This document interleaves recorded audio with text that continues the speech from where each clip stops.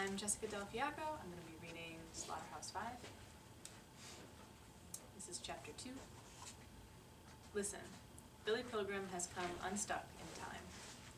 Billy has gone to sleep senile widower and awakened on his wedding day. He has walked through a door in 1955 and come out another in 1941. He has gone back through that door to find himself in 1963. He has seen his birth and death many times, and pays random visits to all the events in between.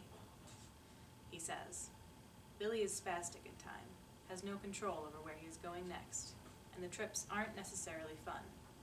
He is in a constant state of stage fright, he says, because he never knows what part of his life he is going to have to act in next. Billy was born in 1922 in Ilium, New York, the only child of a barber there. He was a funny-looking child who became a funny-looking youth, tall and weak and shaped like a bottle of Coca-Cola.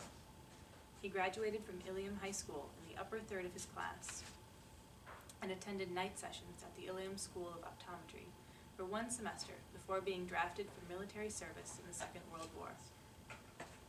His father died in a hunting accident during the war, so it goes.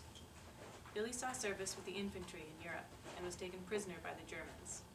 After his honorable discharge from the Army in 1945, Billy again enrolled in the Ilium School of Optometry.